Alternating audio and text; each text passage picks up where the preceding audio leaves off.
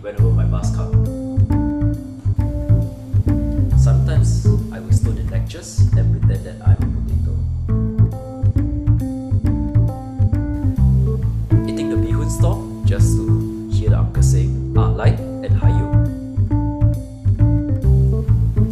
The ban mian is overrated.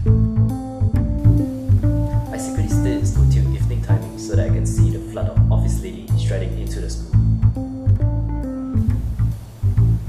Secretly wish that someday, while walking into the toilet, a hot girl will pull me into the handicapped toilet and have a hot makeout session together. Hashtag just fantasy. One time I was bored and text a random number saying, I'm pregnant. Can the toilets in SIM stop auto flushing while I cram to take a dump? Jason replied, try taking a dump